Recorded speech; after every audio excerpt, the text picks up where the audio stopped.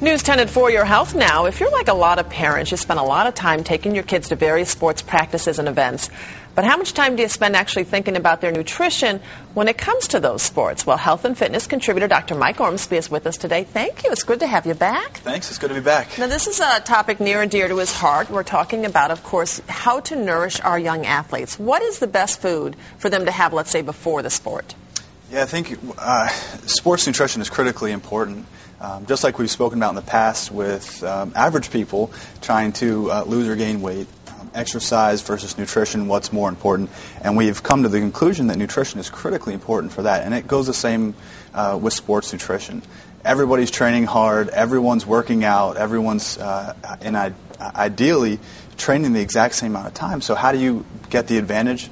Nutrition. Nutrition. And so when you come when it comes to actually what to eat, um, it's really good to understand and evaluate what your child is eating and exactly what you can feed them so that they can perform to the best of their ability.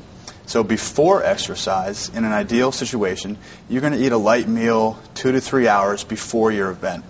And it has to be light because each person can respond differently to a heavy load in their stomach and then going out and exercising.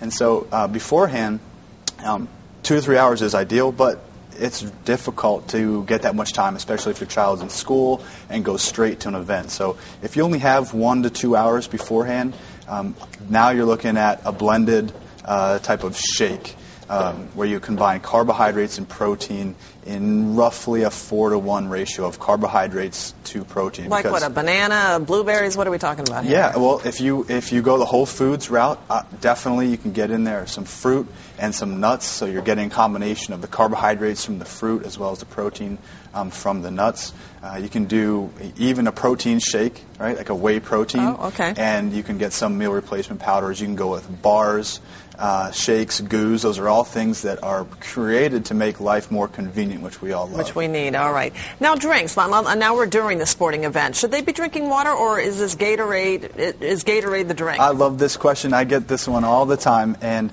uh, Gatorade is is very useful. Um, but the the basic rule is if that if you're working out for less than 60 minutes, you don't need you do not need a Gatorade supplement or a sports drink at all. Um, and it's when it's greater than 60 minutes, now you're getting into a, an opportunity where the extra carbohydrates, the fluid, the electrolytes are really going to help your performance. Now, that said, with young children, getting them to drink water is sometimes difficult. And there are studies out there that are indicating that flavored water, flavored drinks, Gatorade, um, is going to be something that not only uh, helps them to like what they're drinking, but the sodium in the drink also makes them drink more.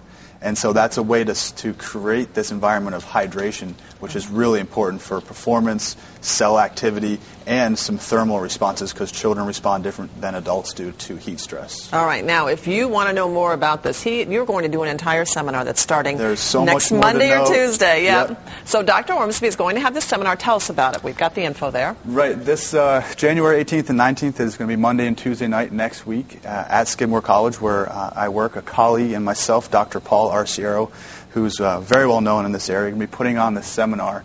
Um, it's for athletes that are 7 to 18 years old. Okay. And, well, it's actually for the parents of those athletes. And we'll learn all about what to feed them. and We're learning what to feed them. Supplements, do you use them, do you not? What should you eat before, during, after? Specific meal plans.